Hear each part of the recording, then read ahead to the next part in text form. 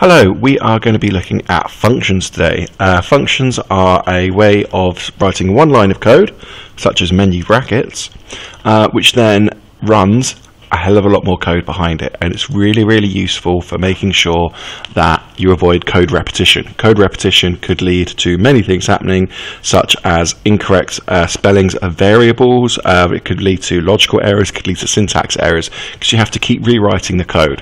Whereas if you use a function all you need to do is write it once to use it and then write it once for the actual code you want to use. So in this example we are going to be creating a menu the menu is nice and easy and simple to understand, so let's have a look at it. First line of code here creates a variable and just make sure that's empty. And then we have a large series of print lines. And what this will do is this will display to the user the menu system they're going to see. So we can see it's going to say, welcome to the Lego set. We're going to have a line which is made from a load of equal signs and then four different options. We can then have choice is equal to an input. So the user is asked can enter a number? And then the number they enter becomes the variable choice. And then we have a series of if statements.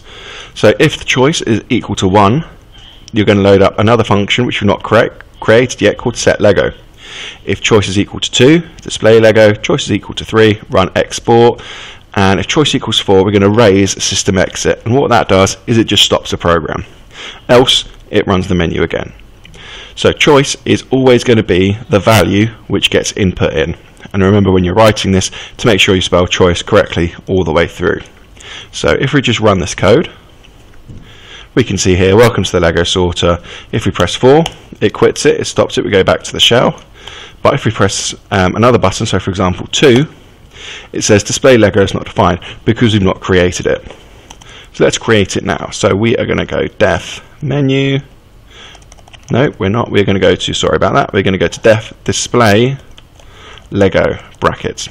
And what these brackets are for, if you want to pass in any parameters or use any other pieces of data, they go into here and they're very useful which you're going to look at in a future video. And all we're going to do for here is print you have selected the display Lego, give it a capital L, Lego function and we're going to save it and we're going to press F5 and now we're going to ask for it to display Lego. We've displayed Lego function. Fantastic. So there are different things that you can do with this code. You can make the if statements more robust. You could add defin uh, you could define the functions. Many many things that you can do. I hope you've enjoyed this video. Feel free to leave some feedback. Thank you. Bye bye.